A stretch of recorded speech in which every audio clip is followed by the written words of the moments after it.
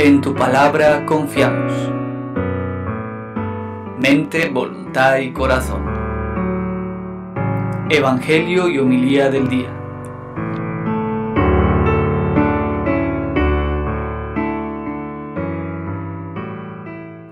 El Señor esté con vosotros.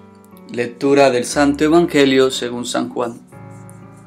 En aquel tiempo dijo Jesús a sus discípulos, En verdad, en verdad os digo, vosotros lloraréis y os lamentaréis mientras el mundo estará alegre. Vosotros estaréis tristes, pero vuestra tristeza se convertirá en alegría. La mujer, cuando va a dar luz, siente tristeza, porque ha llegado su hora, pero en cuanto da a luz al niño, ni se acuerda del apuro, por la alegría de que al mundo le ha nacido un hombre.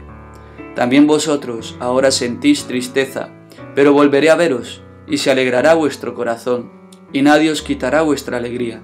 Ese día no me preguntaréis nada. Palabra del Señor.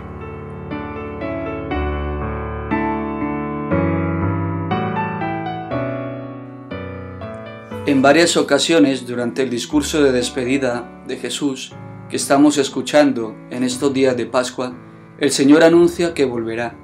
Rápidamente vuela el corazón al día final, cuando cielos y tierra se desintegren y el Hijo del Hombre aparezca sobre las nubes para instaurar su reino. Sin embargo, esas palabras no se cumplirán solo entonces, se cumple hoy, si somos fieles. Volveré a veros, y se alegrará vuestro corazón, y nadie os quitará vuestra alegría. Volvió después de resucitar y se apareció a los suyos, dejando en sus almas un gozo inalterable. Y vuelve a nosotros, a cada uno, con la llegada del Espíritu a nuestras almas. Es su Espíritu el que viene a habitar en el cristiano, y así nos convierte en morada suya, y nos bendice con el gozo y la paz, frutos ambos del Paráclito. La alegría del Espíritu, querido hermano y hermana, no puede ser arrebatada porque sabe convivir con el dolor, con la tristeza, y con la muerte misma. La luz natural no puede cohabitar con las tinieblas, pero la luz del alma sí puede coexistir con la enfermedad, la soledad o las lágrimas.